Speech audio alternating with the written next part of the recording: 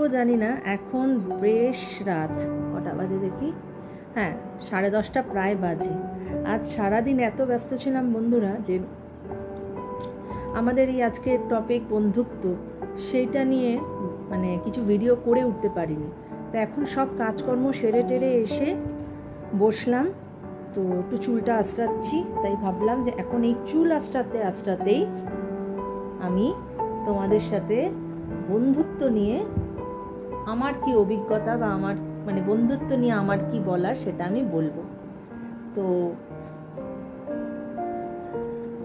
আমরা যখন স্কুলে পড়তাম, সেই সময় আমার ছজন বন্ধুর একটা দল ছিল।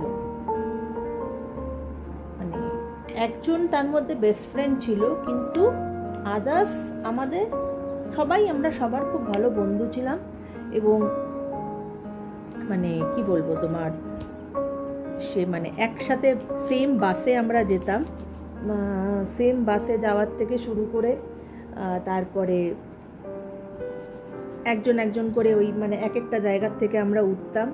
আমরা একে অপরের জন্য জায়গা রাখতাম বাসে তারপর আমরা বাসে ফিস্ট করতাম। একদিন ঠিক করতাম যে আমরা ফিস্ট করব। সেদিনকে আমরা বাড়ির থেকে বেশি করে খাবার দাবার নিয়ে যেতাম। আগেই প্ল্যান হয়ে যেত যে কি খাবার নিয়ে যাওয়া হবে? এ বলতো আমি, এটা নেব, কেউ বলতো আমি, ওটা নেব, সেরকম। তারপরে ক্লাসে অনেকগুলো সেকশন ছিল, তো যদি সেম সেকশনে ওই গ্রুপের মধ্যে আমরা থাকতাম, যে কেউ ক্লাসে যখন উঠতাম, শুধু যখন টিচাররা নাম ডাকছে যে তুমি এ সেকশন কি, তুমি বি সেকশন তখন ভাবতাম, ও আমার সেকশনে হবে তো? ও আমার সেকশনে চলে আসবে তো? তাহলে খুব আনন্দ। মানে আমার বন্ধুরা তো আমার সেকশনে তো সবসময় যে সবাই আমরা এক সেকশনে থাকতাম তা নয় স্ক্যাটার্ডও থাকতাম। আবার কখনো কখনো কোনো কোনো বছর একসঙ্গেও হতাম, তবে সবাই একসাথে হয়নি কোনো দিন তো সেই ক্লাসেও ওই একসঙ্গে পাশে বসা, একসঙ্গে টিফিন খাওয়া, সেই সমস্ত গোল্ডেন ডেজ ছিল। এবং কখনো কখনো বন্ধুদের বাড়িতে যাওয়া, যদিও বা সেটা কমই হতো, কিন্তু যেতাম। কিন্তু সেই বন্ধুত্বটা স্কুলের পরে না এখনও যোগাযোগ আছে। আমাদের একটা আলাদা হোয়াটসঅ্যাপ গ্রুপও আছে। কিন্তু সেই গ্রুপে যে খুব সাংঘাতিক কথা হয় তা নয়। বা ফেসবুকেও আমাদের একে অপরের সাথে যোগাযোগ আছে যে খুব কথা হয় তা নয়। কিন্তু একটা স্বচ্ছ যোগাযোগ আছে। কিন্তু সেই যদি তোমরা বলো যে খুব দহরম মহরম যোগাযোগ, সেটা কিন্তু নেই। সেটা আমাদের ওই দলের কারোর সঙ্গেই কারণ নেই। মানে আমরা সবাই সবার সঙ্গে টাচে আছি। কিন্তু যোগাযোগে মানে সেই রকম যোগাযোগে যে রোজ কথা হচ্ছে, গল্প হচ্ছে, সেই ব্যাপারটা নেই।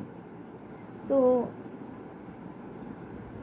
সেটা হয়তো আমাদেরই কমতি যে আমরা একে অপরের সাথে সেই রকমভাবে ধরে রাখতে পারিনি বা এতটাই, সত্যি করে কি আমরা এতটাই ব্যস্ত হয়ে গেছি জীবনে যে সেরমভাবে যোগাযোগটা রাখতে পারব না?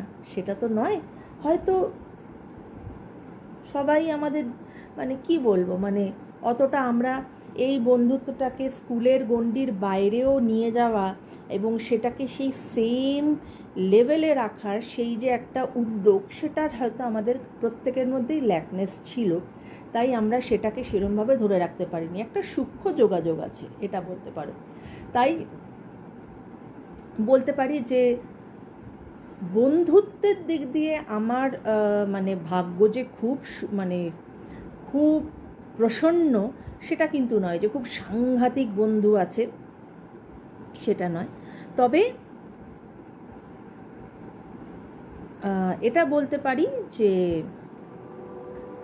এক বন্ধু আমার আছে, আমরা অ্যাকচুয়ালি ওর মা আর আমার মাও বন্ধু এবং বেস্ট অফ ফ্রেন্ড ছিল এবং ও আর আমিও বন্ধু। বেস্ট অফ ফ্রেন্ড নাও বললে আমরা আমরা যদিও বা নিজেদেরকে বেস্ট অফ ফ্রেন্ড যদি নাও বলি কিন্তু আমরা জানি যে আমরা আমার, কোনো প্রয়োজনে আমরা একে অপরের পাশে আছি। কোনো দরকারে, কোনো প্রয়োজনে একে অপরের পাশে আছি। এবং একটা সময় আমার খুব একটা বাজে সময় যাচ্ছিল, সেই সময় আমার সেই বন্ধু যথেষ্ট আমাকে সাপোর্ট করেছিল, আমার পাশে দাঁড়িয়েছিল। ফিজিক্যালি না হলেও মেন্টালি সে আমার পাশে ছিল। তো তার জন্য আমি সবসময় আমি তাকে সেই গ্র্যাটিটিউডটা জানাই যে মানুষ যখন যতটুকুই যে তার জন্যই করে না কেন, তার প্রতি সেই গ্র্যাটিটিউডটা সবসময়ই তোমার জানানো উচিত। সেটা কোনোদিন ভুলে যেতে নেই।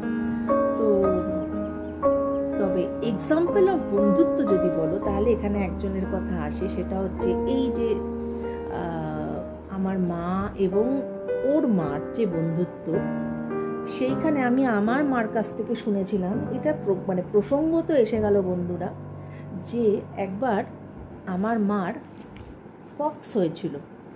তো সেই সময় পক্স হওয়া মানে আমি অনেক দিন আগেকার কথাই বলছি। তো সেই সময় পক্স হওয়া মানে এমনিতেই তো এখন যেরকম অনেক ভ্যাকসিনেশন টেশন বেরিয়ে গেছে, লোকেদের অনেক ইয়ে ধ্যান ধারণা পাল্টেছে অসুখ বিসুখের সম্বন্ধে। সেই সময় তো মানে একদম সেই মানে পক্স হয়েছে মানে তাকে ছোবে না, তাকে ধরবে না, এরম একটা ব্যাপার। তার ঘরে কেউ যাবে না হ্যাঁ? তো কিন্তু আমার এই মাসি, আমার মার মুখে শোনা যার জন্য আমার মা সারা জীবন তার কাছে সে মানে মার মধ্যে সেই কৃতজ্ঞতাটা ছিল যে মা বলেছিল যে আমি কোনোদিন ওর এই জিনিসটা, আমি কোনোদিন ভুলতে পারব না যে আমার ওই পক্স হওয়ার সিচুয়েশানে মানে মায়ের কথা বলছি ওই মাসি মাকে যেভাবে সেবা যত্ন করেছিল, মার সঙ্গে দিনও রাত্র মাসি থাকতো। দিনও রাত্র মাসি মার সঙ্গে থেকে মাকে সেবা যত্ন করেছিল।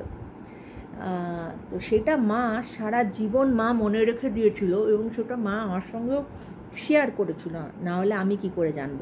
তো মা আমার সাথেও সেটা শেয়ার করে যে তাই জন্য এবং আমি সবসময় তাদের মধ্যেও সে বন্ধুত্বটা বজায় রাখতে দেখেছি, সেটাই হচ্ছে কথা।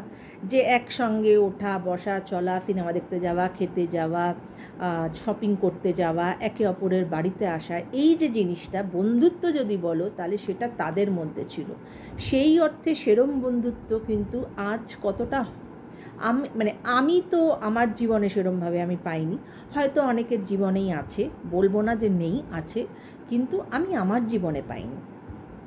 তবে যতটুকুই যার থেকেই পেয়েছি না কেন, আবারও বলছি যে from bottom of my heart আমি তাদের প্রতি আমার গ্র্যাটিটিউড সবসময়ই জানাই।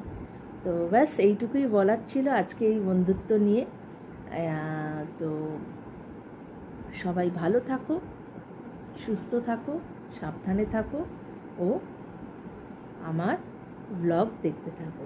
কেমন? টাটা।